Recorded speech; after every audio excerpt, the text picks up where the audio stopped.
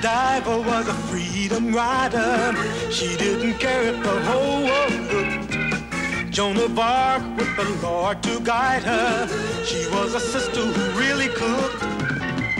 Isadora was the first bra burner. Ain't you're glad she showed up? Oh, yeah. And when the country was falling apart, Betsy Ross got it all sewed up. And then there's then there's Maude. And then there's Maude. And then there's Maude. That uncompromising, enterprising, anything but tranquilizing. Right on, Maude.